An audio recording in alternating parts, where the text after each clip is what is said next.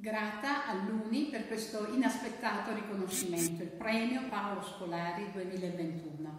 La FIDE si è avvicinata al mondo della normazione tecnica e volontaria quando ha sentito l'esigenza di predisporre un modello di riferimento per la prevenzione e il contrasto del bullismo e del cyberbullismo nel febbraio-marzo 2020, all'inizio dell'evento pandemico, ha sentito l'esigenza, anche per la didattica a distanza e mista, di avviare un procedimento per un riconoscimento come PDR di questa attività.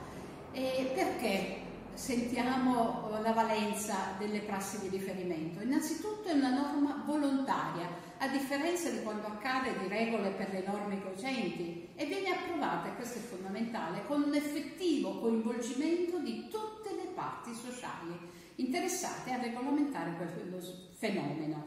D'altra parte poi il contenuto della norma è flessibile, non sono rigide regole burocratiche, pertanto gli organismi, le scuole possono poi applicare nelle loro realtà queste norme. E poi la possibilità anche per chi vuole di ottenere certificazioni. Si pensa solo che molto probabilmente entro quest'anno saranno sei istituzioni molto importanti ad avere la certificazione già per la PDR sul contrasto al bullismo.